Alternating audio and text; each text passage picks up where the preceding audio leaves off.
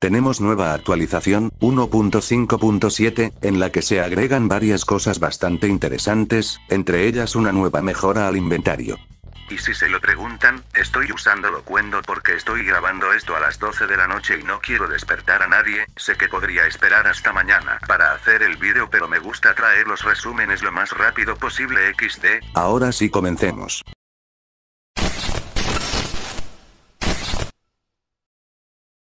Las primeras novedades que nos trae esta actualización son estas dos nuevas bombas de aquí, las cuales son la granada, y la granada incendiaria.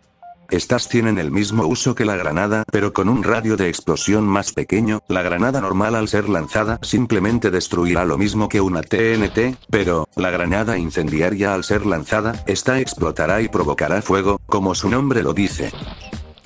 Los siguientes añadidos son estas dos nuevas pociones, las cuales son la poción de visión nocturna, y la poción de agilidad acuática.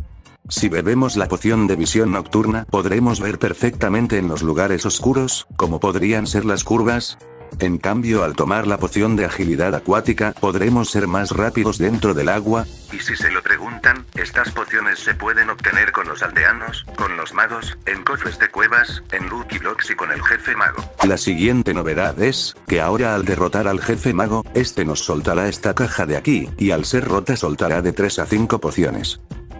Un cambio bastante pequeño pero muy útil para farmear pociones como desquiciado. Y ahora, pasemos con las novedades técnicas. Ahora al recibir el efecto de veneno, aparecerá este pequeño recuadro, que indicará cuánto tiempo falta para que el efecto se detenga.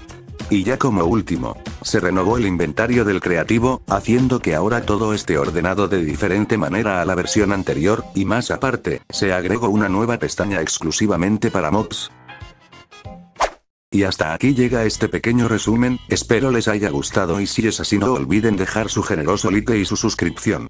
Yo soy Zrisesito y nos veremos en un próximo video.